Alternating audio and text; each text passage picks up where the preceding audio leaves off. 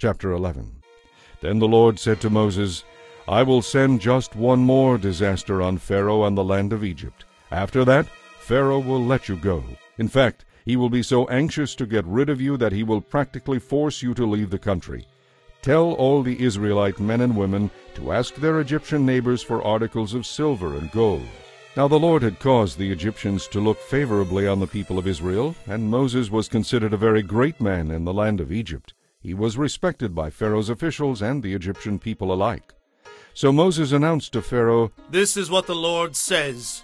About midnight I will pass through Egypt. All the firstborn sons will die in every family in Egypt, from the oldest son of Pharaoh, who sits on the throne, to the oldest son of his lowliest slave. Even the firstborn of the animals will die. Then a loud wail will be heard throughout the land of Egypt. There has never been such wailing before, and there never will be again.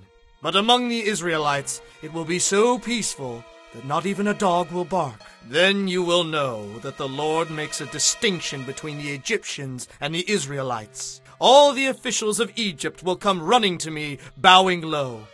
Please leave, they will beg. Hurry and take all your followers with you. Only then will I go. Then, burning with anger, Moses left Pharaoh's presence. Now the Lord had told Moses, Pharaoh will not listen to you, but this will give me the opportunity to do even more mighty miracles in the land of Egypt.